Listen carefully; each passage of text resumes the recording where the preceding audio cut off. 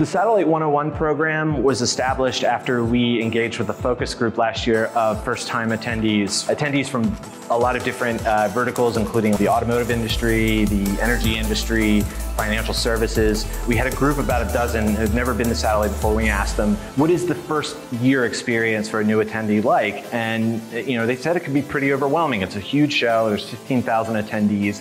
Uh, there's 80,000 square feet of exhibiting space. There's 100 sessions and workshops and there's this entrepreneur pitch contest and, and it can be overwhelming for somebody who's not familiar with the terminology of our industry. So we created a program that's a definite starting point for them, teach them the basics and get them comfortable with our event so they can come back and, and continue those conversations the following year.